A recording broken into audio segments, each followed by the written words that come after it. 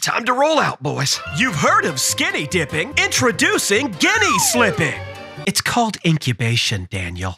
Hey, Evan, what are you doing in here? Oh, you taking a nap? Okay.